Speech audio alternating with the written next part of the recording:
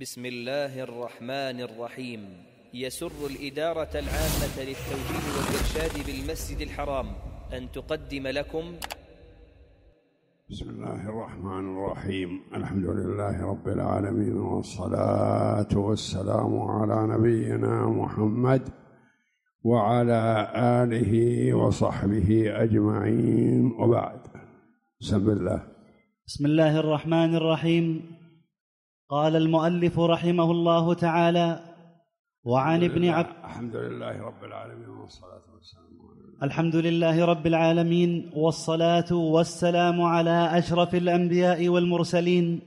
وبعد قال المؤلف رحمه الله تعالى وعن ابن عباس رضي الله عنهما قال خطبنا رسول الله صلى الله عليه وسلم فقال إن الله كتب عليكم الحج. فقال الأقرع بن حابس فقال أفي كل عام يا رسول الله؟ قال لو قلتها لوجبت الحج مرة فما زاد فهو تطوع.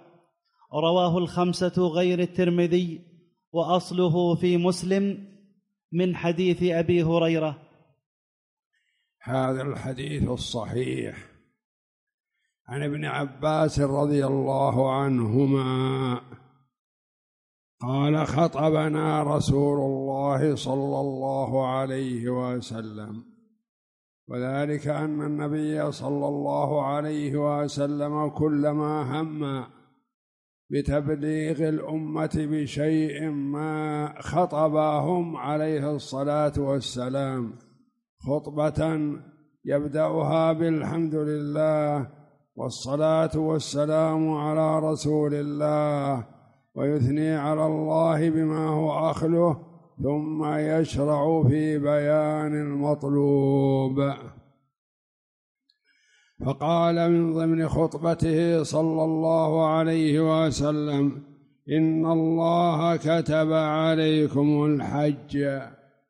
يعني فرض عليكم الحج فحجوا أيها الناس. فقام الأقرع بن حابس.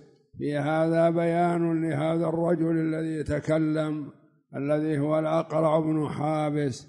وكان من أمراء العرب ومن المسؤولين في العرب مع العرب. قال يا رسول الله أفي كل عام يا رسول الله؟ فسكت النبي صلى الله عليه وسلم ولم يجبه. فأعاد الكلام مرة ثانية وقال أفي كل عام يا رسول الله؟ فسكت عنه صلى الله عليه وسلم تأديبا له وزجرا لأنه لا ينبغي أن يقول هذا السؤال لأن هذا السؤال يكون فيه ربما يلفت النظر فيفرض عليهم الحج فيشق عليهم والنبي صلى الله عليه وسلم رؤوف رحيم بالأمة. ما يحب أن يفرض على الأمة شيئا يشق عليهم. فسكت صلى الله عليه وسلم ولم يجبه حتى كأنه لم يسمعه. فأعاد السؤال مرة ثانية فقال الحج مرة ولو قلت نعم لوجب عليكم أن تحجوا كل عام لكنه عليه الصلاة والسلام رفق بالأمة ولطف بهم فلم يوجب عليهم ذلك. لو قلت نعم لوجبت ولما ولو وجبت ما استطعتم الحج مرة وما زاد فهو تطوع. فيؤخذ من هذا كراهية النبي صلى الله عليه وسلم لهذا السؤال ما دام أن المرأة قال في كل عام ما ينبغي له أن يقول في كل عام لأنه لا يجب على المسلم أن يحج في كل عام بقوله صلى الله عليه وسلم يا أيها الناس كتب الله عليكم الحج فحجوا. كتب الله عليكم الحج فحجوا مرة واحدة. فسؤاله قوله في كل عام تعنت والنبي صلى الله عليه وسلم لم يجبه تعزيرا وتأديبا وردعا له من أن تكرر هذا السؤال. ولو قلت نعم يقول صلى الله عليه وسلم. لو قلت نعم في كل عام لوجب عليكم أن تحجوا كل عام ثم لم تستطيعوا ذلك فتأبوا وتعجزوا. ولو قلت نعم لوجبت الحج مرة الحج مرة في العمر مرة واحدة يكفي من المرء أن يحج فإذا أسقط الفريضة فما زاد فهو تطوع. عليه الصلاة والسلام. رواه الخمسة غير الترمذي. من هم الخمسة؟ هم أحمد بن حنبل رحمة الله عليه وأبو داود والنسائي وابن ماجه و من تركناه؟ وهم الترمذي مع أحمد. وابن ماجه والنسائي هؤلاء أربعة والخامس هو أبو الترمذي الذي سقط ولم يذكر ولم يروي هذا الحديث وأصله في مسلم كما سيأتينا في الشارح يأتينا الكتاب الحديث الذي رواه مسلم رحمه الله. وهو عن أبي هريرة وليس عن ابن عباس رضي الله عنهما. درجة الحديث الحديث صحيح. أصل الحديث صحيح بلفظ مقارب لهذا اللفظ وأخرجه أصحاب السنن الأربعة وأحمد وغيرهم فهو حديث مشهور ومتداول. ولفظ مسلم عن أبي هريرة رضي الله عنه قال خطبنا رسول الله صلى الله عليه وسلم فقال هذا الحديث الذي رواه الأربعة. هذا الحديث الذي رواه الجميع الترمذي والنسائي والطهوى أبو داود والترمذي وابن ماجه كلهم رووه. والحديث الأول لم يروه الترمذي غير الترمذي قال.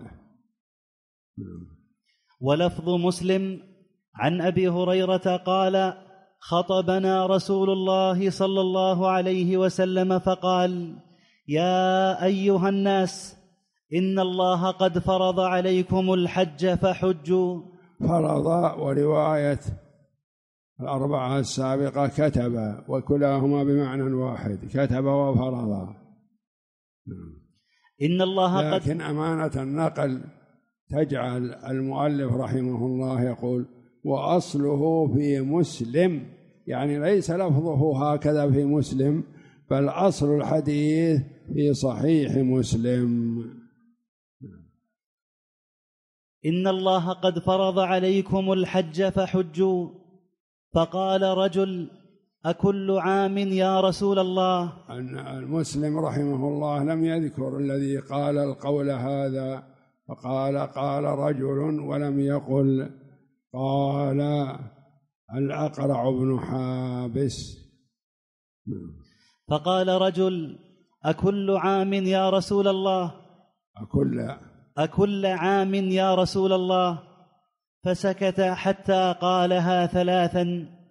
فقال رسول مرة يظن هذا الراوي يظن هذا الرجل أن الرسول لم يسمعه. والرسول سمعه لكن ما يرغب إجابته. فقال رسول الله صلى الله عليه وسلم لو قلت نعم لوجبت ولما استطعتم. ذروني ما تركتكم. ذروني ما تركتكم. لا تسألوا عن أشياء إن تبد لكم تسؤكم. لا تكرروا لا تقولوا أفي كل عام. يقول نعم. اسكتوا ولا يجب عليكم إذا قال النبي صلى الله عليه وسلم إن الله قد كتب عليكم الحج فحجوا لا يجب عليكم إلا مرة واحدة. كتب مرة وعليكم أن تحجوا هذه المرة. نعم. ذروني ما تركتكم فإنما أهلك من كان قبلكم كثرة سؤالهم واختلافهم على أنبيائهم. فإذا أمرت أهلكهم كثرة سؤالهم واختلافهم على أنبيائهم. يعني هو الذي أهلكهم كثرة سؤالهم واختلافهم على أنبيائهم. يروى في الحديث أنه لما قال للرسول عليه الصلاة والسلام موسى عليه الصلاة والسلام قال لبني إسرائيل إن الله يأمركم أن تذبحوا بقرة. لو استدنوا أي بقرة فذبحوها لكان المطلوب حاصل. قال الله إن الله يأمركم أن تذبحوا بقرة. بس. قالوا يا رسول الله ما هذه البقرة؟ لما أخبرهم قالوا ما لونها؟ قال لونها كذا. قالوا ما هي؟ إن البقرة تشابه علينا. كل سؤال ما لا محل له من الحاجة ولا داعي له. لكن باب تعنتهم وكثرة سؤالهم واختلافهم على أنبيائهم. حتى غلت هذه البقرة وصار صاحبها لا يبيعها إلا بوزنها ذهبا. ولو استدنوا أي بقرة لأجزأت وحصل المطلوب. فلا ينبغي للسائل إذا قيل له كذا وكذا يستفسر السائل. إذا قيل له الواجب عليك أن تعمل كذا مثلا ما يقول ما نوع هذا العمل؟ متى أعمله؟ كذا كذا إلى آخره يطول على السائل ما ينبغي على المسؤول أن يطول عليه وإنما يجيبك هو أجابك بالذي يجب عليك فأنت خذ به. ذروني ما تركتكم. ذروني ما تركتكم. فإنما أهلك من كان قبلكم كثرة سؤالهم واختلافهم على أنبيائهم. فإذا أمرتكم بأمر فأتوا منه ما استطعتم وإذا نهيتكم عن شيء فدعوه. إذا نهيتكم عن شيء فدعوه اتركوه. وإذا أمرتكم بأمر فأتوا منه ما استطعتم.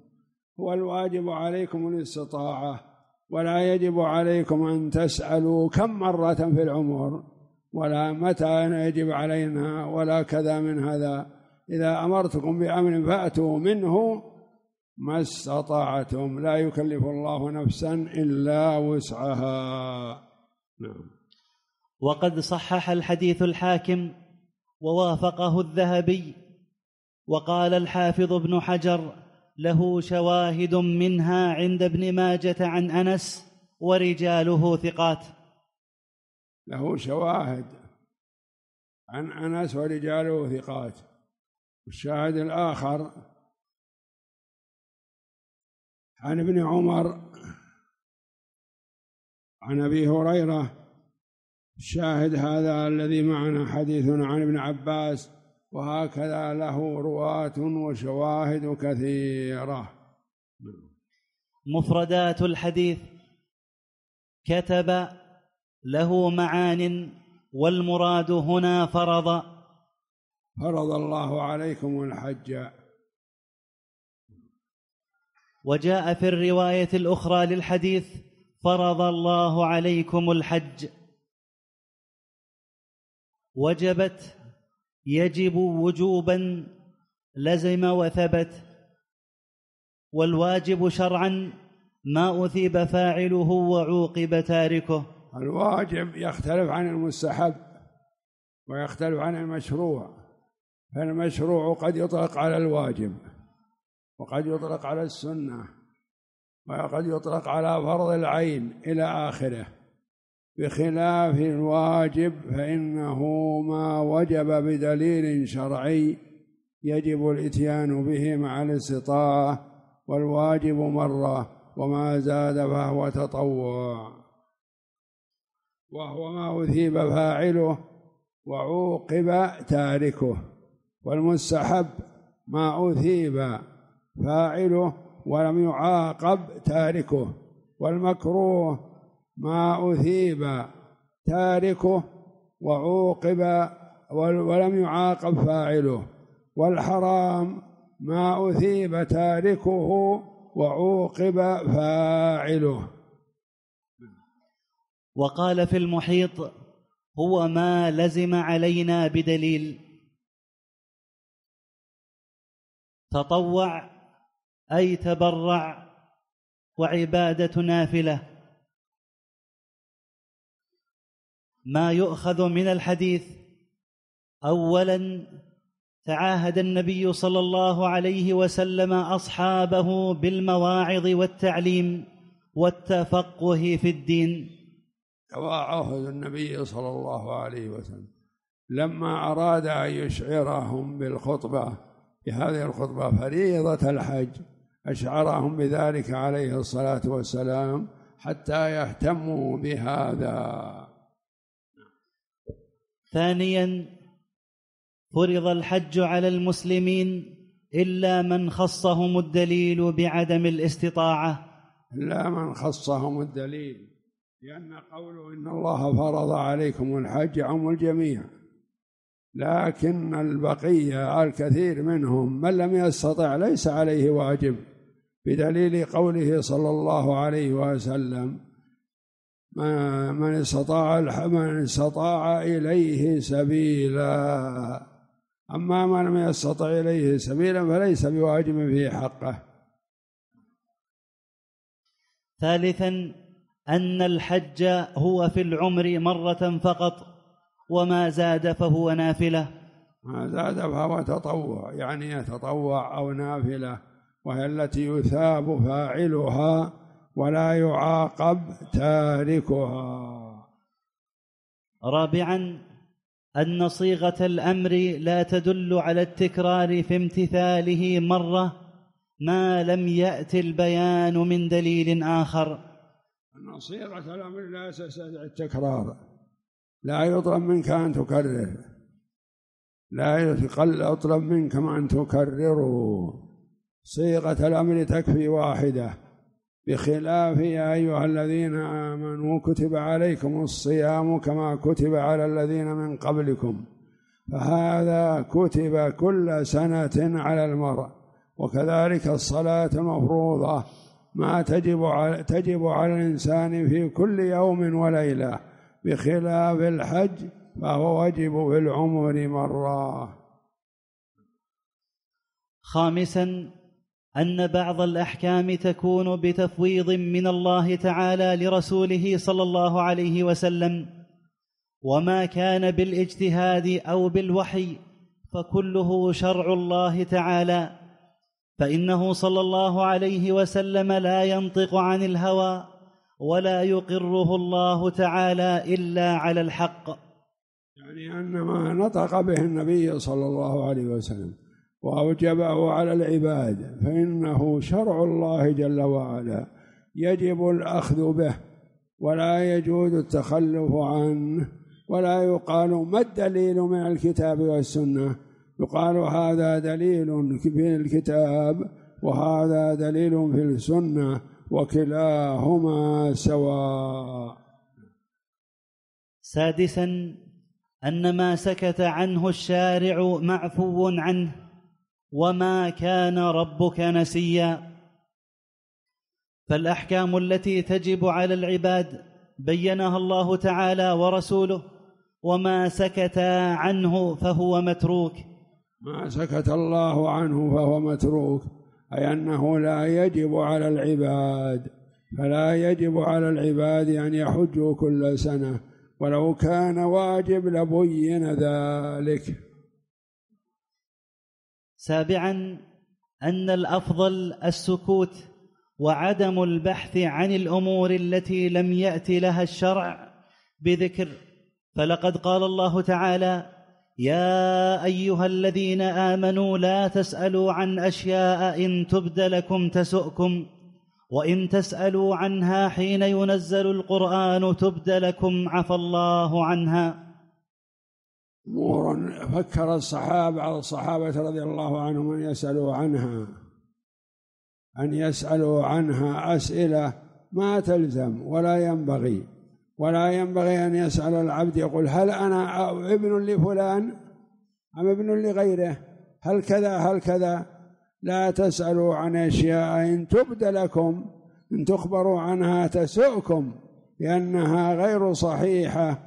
وغير على أصل وليست على أصل وإنما هي من جهالات الجهلاء. فنسب هذا الرجل إلى أبيه والحقيقة والواقع أن أباه غير ذلك الرجل. فلا تسأل تقول هل أبوي فلان؟ أم أن ابن لغيره؟ لا ينبغي للعبد أن يسأل ذلك وإنما يسلك المسألة كالسكوتي فما بين فهو خير. وما لم يبين فما سكت الله عنه إلا رحمة ورأفة بالأمة.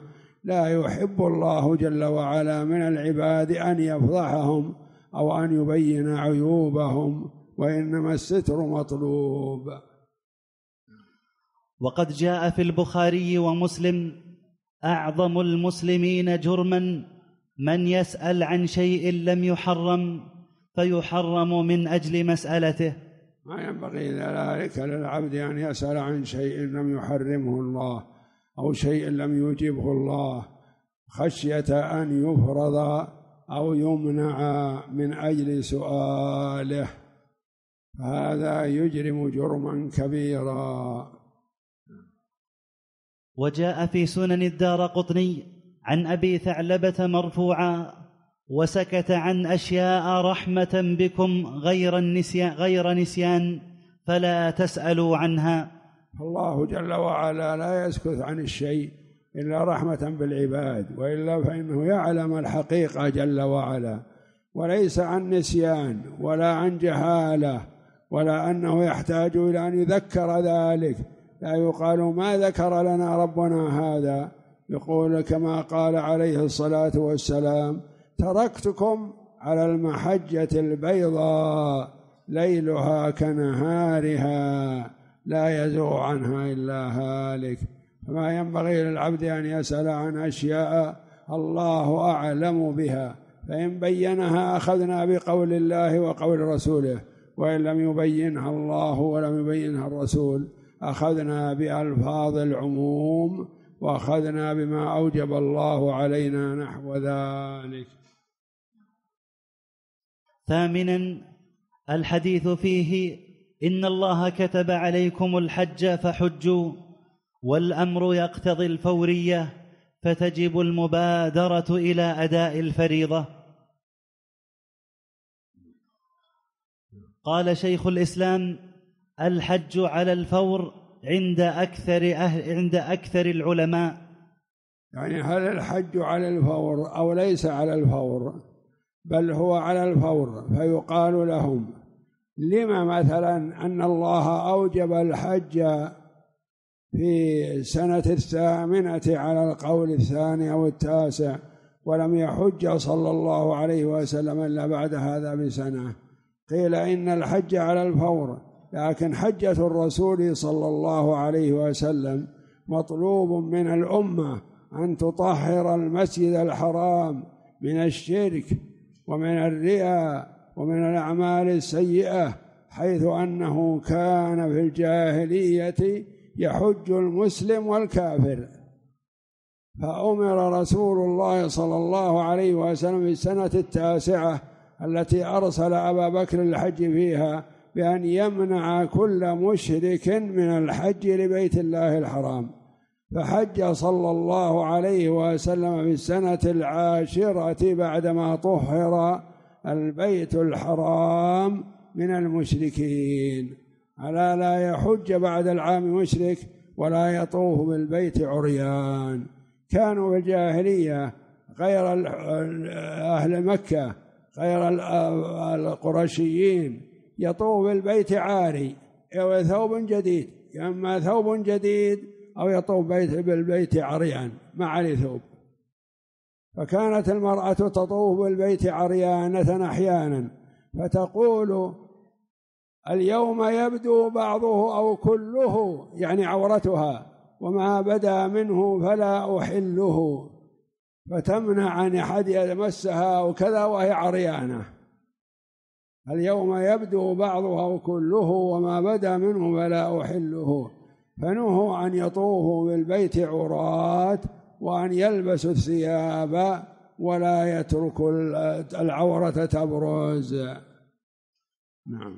قال شيخ الإسلام الحج على الفور عند أكثر العلماء ولو ما يرى أكثر العلماء أن الحج على الفور لمن استطاع إليه سبيلا ويرى بعضهم عدم ذلك لئلا يلزم الأمة بشيء لا يلزم شرعا. نعم. ولو مات ولم يحج مع القدرة أثم إجماعا. أثم أثم إجماعا. يعني لو لو ترك الحج وهو قادر عليه ثم مات أثم. بينما لو ترك الحج سنة أو سنتين حتى يتمكن من الاستطاعة الكاملة فلا إثم عليه في ذلك عند من يقول إن الحج ليس بواجب على الفور. فعند بعضهم أنه لا يجوز التأخير مع القدرة وعند بعضهم يجوز التأخير عن القدرة سنة أو سنتين ونحو ذلك. نعم. تاسعا فيه أن الأمر يقتضي الوجوب فإنه صلى الله عليه وسلم قال لو قلتها لوجبت. لوجب عليكم ما أوجبته عليكم. أن الأمر من الرسول صلى الله عليه وسلم يقتضي الوجوب ولا يقال حتى يأتينا الأمر من الله تبارك وتعالى. فإذا أوجب الرسول صلى الله عليه وسلم أمرا من الأمور فإنه يجب شرعا. عاشرا فيه أن التشريع الرباني جاء إلى الخلق من ربهم بقدر طاقتهم واستطاعتهم فلم يكلف جل وعلا خلقه إلا بما يطيقون. قال تعالى لا يكلف الله نفسا إلا وسعها. وهكذا يقول جل وعلا فاتقوا الله ما استطعتم. فلا يجب على المرء إذا كان لا يستطيع القيام في الصلاة أن يقوم. لا يجب عليه أن لا يسجد, أن يسجد إذا كان لا يستطيع السجود. لا يجب عليه أن يركع إذا لم يستطع الركوع. وهكذا. فاتقوا الله ما استطعتم. من استطاع القيام يجب عليه القيام في الصلاة. من لم يستطع فيصلي جالس. من استطاع الركوع وجب عليه أن يركع. من لم يستطع أن يحني ظهره للركوع فلا يجب عليه ذلك. من استطاع السجود فيجب عليه أن يسجد ومن لم يستطع ذلك فلا يكلفه الله نفسا إلا وسعها. نعم. الحادي عشر فيه رأ فيه رأفة النبي صلى الله عليه وسلم بأمته فإنه كره مسألة هذا الرجل لبحثه أمرا مسكوتا عنه يخشى أن يبحث فيفرض. فتحصل بفرضه المشقة. شفقته صلى الله عليه وسلم ورأفته بأمته في عدم رغبته في السؤالات. لا تسألوا عن أشياء إن تبد لكم تسؤكم. رغبته كل هذا من باب شفقه على الأمة وهو عليه الصلاة والسلام دخل الكعبه وصلى فيها.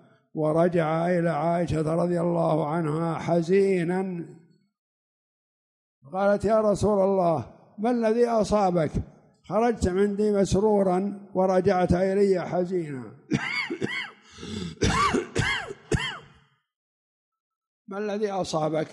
قال يا عائشة إني دخلت البيت وصليت فيه وأخشى أن أكون حرجت أمتي. دخولي هذا أخشى أن يكون فيه حرج على الأمة. يحرصون أن يقتدوا بي فلم يستطيعوا. فشفقته صلى الله عليه وسلم على أمته يمنع من فعل الشيء خشية أن يشفق عليه الأمة فلا يستطيعون. ومثل قوله صلى الله عليه وسلم لولا أن أحرج أمتي لأمرت بالسواك عند كل صلاة وعند كل وضوء وهكذا. لولا أن أحرج أمتي يصيبهم الحرج فلا يستطيع أحد منهم أن يكون معه سواك فلا تصح صلاته. لولا هذا لأمرت بالسواك. فيؤخذ من هذا محبته صلى الله عليه وسلم لأن يتسوك العباد. الثاني عشر المفهوم من تشريع الحج في هذا الحديث وكما جاء في بعض رواياته لو قلت نعم لوجبت وما استطعتم. الإشارة إلى أن بناء الأمر على اليسر والسهولة لا على العسر والصعوبة كما يظن السائل. كما يظن السائل لا ينبغي أن يكون. الأمر أمر سهولة ويسر. فينظر فيما يسهل على العباد ولا يشق عليهم عليه الصلاة والسلام. هذا وأرجو الله جل وعلا أن يمن علي وعليكم بالعلم النافع والعمل الصالح وان يجعلنا جميعا من الهداة المهتدين الآخذين بكتاب الله وسنة رسوله صلى الله عليه وسلم والحديث السابق. هذا نهاية فرائض الحج باب المواقيت إن شاء الله في الدرس القادم. أما إذا كان يصلح أن يستعمل في الحلال والحرام فلك أن تستعمله وتبينه وتعطيه إياه ولا حرج عليك. أما أن تطيعه في شيء محرم شرعا فلا. يقول السائل كثرة ازدحام النساء على الصلاة في الحج عند الحجر وعلى الحجر الأسود الحجر. وعلى الحجر الأسود لا الأول. كثرة ازدحام النساء على الصلاة في الحجر وعند الحجر الأسود. هل لنا في ذلك بيان وتوضيح وفقكم الله؟